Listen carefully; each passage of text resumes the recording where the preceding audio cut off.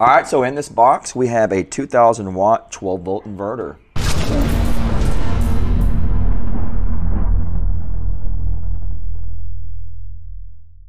All right, looks like we got some cables and a remote on off switch.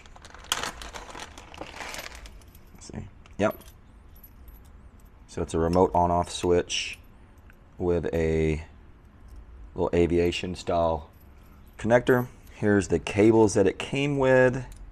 So it's a a dual 8 gauge 200 Celsius wire. It feels like silicone. Then we have a user's manual and a bunch of spare fuses. All right, and there's the inverter. So this is a 2000 watt 12 volt pure sine wave inverter from TOPBULL. So we've got two AC receptacles on the front side. We have a USB A, a USB C, a display, on off switch, and then the, the place where we connect our remote on off cable. And on the back side, we've got two fans and then the terminals. All right, so I've got the TOPBULL 2000 watt inverter hooked up to the Orient Power 230 amp hour battery just to make sure we have enough power. I did go ahead and use their cables to see how they do. However, I would upgrade these to something beefier. And we're gonna go ahead and hook up this induction cooktop to it. Let's just see what we can do. Let's try to push this thing. Let's plug it in. Power it up.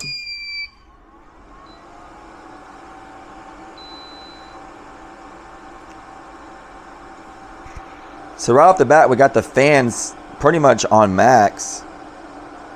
We're not pulling any power yet. Okay, so it went ahead and shut the fans off. I guess that's kind of like a startup procedure. All right, so let's go ahead and turn this thing on.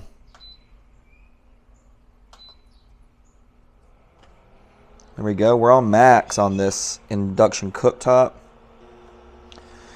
It's showing 800 watts right here, but this usually pulls more than that on max. I wonder if it doesn't like this pot.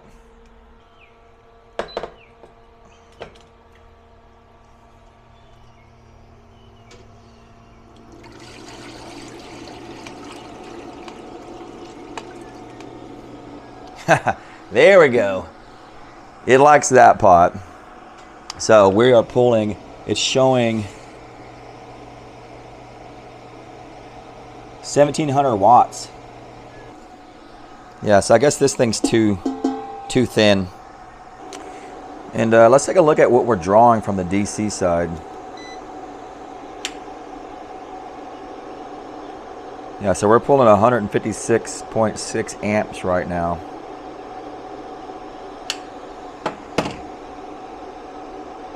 Yeah, these are getting these are getting a little warm. All right, so let's try to use a combination of the heat gun and the induction cooktop and see if we can't get it to pull about 2000 watts so we can so we can try to max this thing out. We'll go here to the induction and turn it down. All right, so it's showing at 1094 watts. Let's try the heat gun on low. Okay, so we're showing 1753. I'm gonna up the induction a little bit. 1830.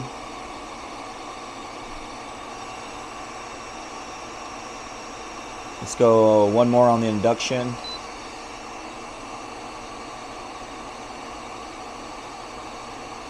Nine, there it is. 2029. So we're a little bit over. But it's it's going. It's doing it. Let's check the temps on those wires. So we're showing 119, 120 Fahrenheit. Well, there's a hundred and about 130 on that one.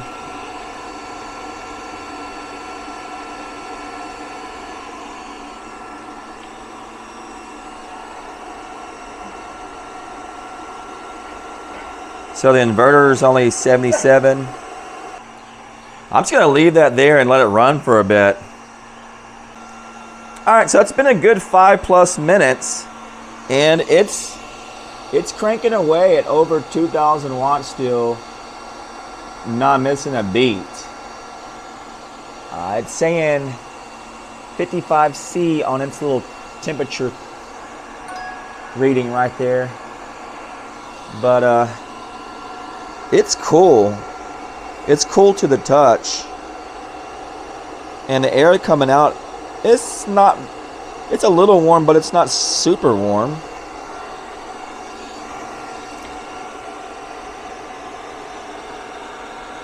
We're showing about 84 on the exhaust here. And I got the app pulled up for the battery and it's showing we're pulling 188 189 amps. Now, I will tell you this. Those are hot. These are uncomfortably hot now.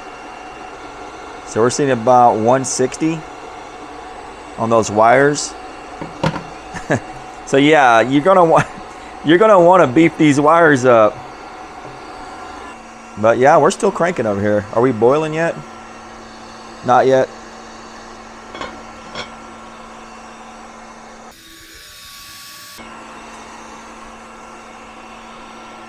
All right, we got that boiling water going. We got that hot air right there and that boiling water. All right, so I'm gonna turn this stuff off. There we go.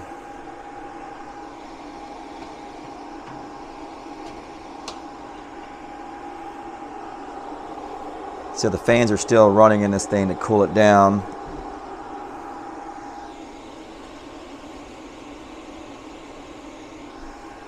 All right, so it's nice and cool now. The fans have died down completely. And it's just sitting there idling. So you can see we have zero watts coming through. So let's take a look at what our idle current is. It's showing 0.714. And that puts us in at about 9.5 watts idle. All right, so I want to plug in the Kill A Watt meter because I want to see if the display on the inverter uh, matches up with what this says. And of course the plugs are upside down, so this is going to be a little tricky.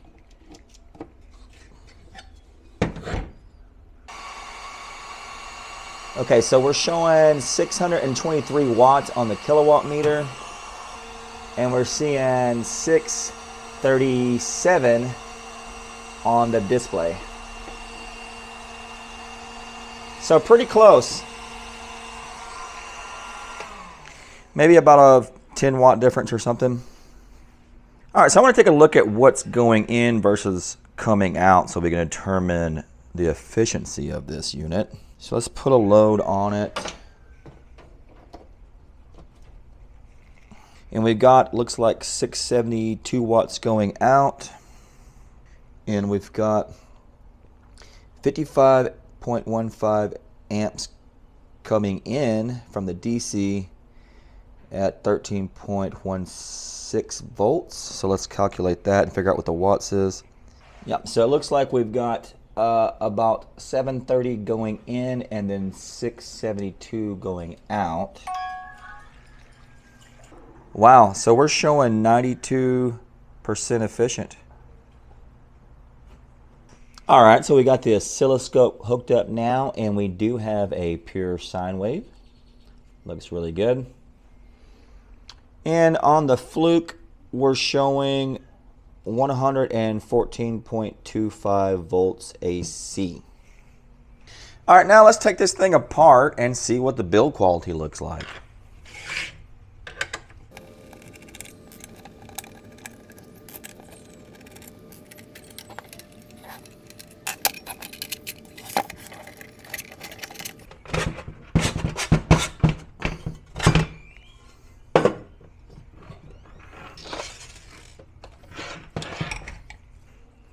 All right, I got it. Uh, should have taken the front panel off first. It's a little difficult getting this top to slide past this because all these wires are still hooked up. But anyways, there we go. Uh, there's the guts. Uh, looks pretty roomy in there.